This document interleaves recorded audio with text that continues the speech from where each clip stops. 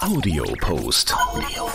Geklickt, gehört. Im Moment ploppt bei Instagram und Facebook-Usern ein Feld auf, das fragt, ob man alles weiterhin kostenfrei nutzen möchte oder eine werbefreie Version abonnieren will. Wir haben den IT-Experten Andreas Wiesler gefragt, was es mit dieser Aktion auf sich hat. Der Konzern Meta, wozu Facebook und Instagram gehören, möchte mit diesem Schritt eine hohe Geldbuße der EU verhindern. Viele klicken da wahrscheinlich schnell auf Weiter mit Werbung. Das allerdings heißt nichts anderes, als einem Tracking zuzustimmen. Will ich das nicht? Muss ich zahlen?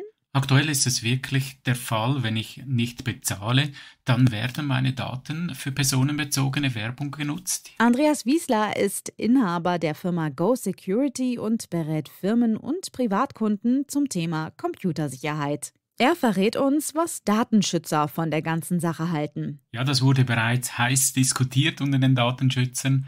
Man kann davon ausgehen, dass die Datenschützer überhaupt nicht erfreut sind über diesen Weg und weiterhin gegen Meta vorgehen werden. Auf die Frage, wie viel Werbefreiheit seiner Meinung nach wert ist, fällt es ihm schwer zu antworten. Das ist natürlich für jeden Menschen unterschiedlich. Man geht davon aus, dass dieser Betrag ungefähr den entgangenen Werbeeinnahmen entspricht. Und zusätzlich heißt werbefrei bei Meta auch nicht automatisch, dass die eigenen Daten dann nicht mehr ausgewertet werden, betont Andreas Wiesler. Die Daten werden natürlich weiterhin gesammelt, ausgewertet, aber halt nun nicht mehr für personenbezogene Werbung genutzt.